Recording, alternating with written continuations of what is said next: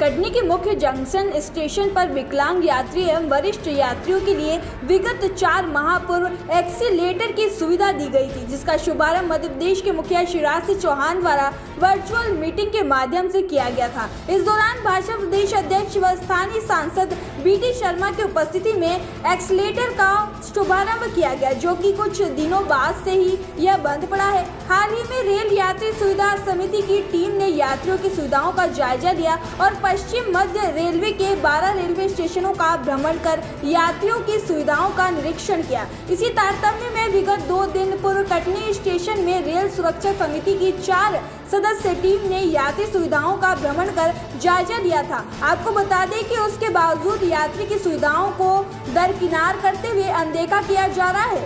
अब जब से यह एक्सीलेटर कटनी के मुख्य जंक्शन के नंबर प्लेटफॉर्म में लगा हुआ है, तभी से इस एक्सीलेटर की सुविधा वरिष्ठ नागरिक एवं विकलांगों के लिए वंचित नज़र आ रही है। भाजपा सरकार यात्रियों की सुविधाओं के लिए अनेकों प्रयास कर रही है, मगर यह जमीनी स्तर पर कितने कारगर साबित हो रहे हैं और यात्री इसका कितना लाभ उठा रहे हैं, कटनी पश्चिम मध्य रेल का बहुत बड़ा हब है। हम मगर जैसी सुविधाएँ कटनी को मिलना चाहिए थी, उन सुविधाओं से आज भी कटनी कहीं ना कहीं वंचित दिखाई दे रहा है। कहने को तो यहाँ तीन मुख्य रेलवे स्टेशन है जो कि चारों दिशाओं को जोड़कर रखे हुए हैं जिससे यहाँ चारों दिशाओं के यात्रियों का आवागमन होता रहता है। मगर यहाँ स्थित रेलवे स्टेशनों में जो सुविधा यात्रियों को मिलना चाहिए वो कहीं ना कहीं वंचित नज़र आ रही है।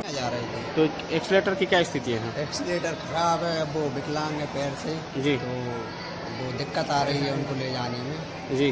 तो आप लोग सरकार से कुछ बोलेंगे? तो इसको चालू होना चाहिए। जी चालू। दिक्कत आती है पास में रीठी स्थान है जी। तो विकलांग लोग आते जाते रहते हैं। जी। कहाँ से आए हैं? हम आए गंजवाल से। जी क्या कहाँ नाम कहाँ के लिए आए थे आप? रीठी मोहासा। जमुआ से आए अच्छा। बिना तो ये जो एक्सीटर है तो क्या बंद पड़ा है क्या? बंद है तो आप लोगों को क्या परेशानी आसानी होती होगी? परेशानी हुआ है बात। जी तो फिर कैसे आप लोग चढ़ते हैं? है? कहाँ से चढ़ते हैं फिर जैसे बंद है तो? सीढ़ी से चढ़ते हैं। कहाँ के रहने वाले हैं आप? अच्छा। अभी कहाँ जाना है आपको? कौन ये कौन सा स्टेशन है? कटनी। कटनी। तो एक्सीलेटर बंद पड़ा है क्या? कब आलू बंद है बंद है? कर नहीं अच्छा ठीक। कटनी से प्रवीण कुमार पाराशर की ये रिपोर्ट।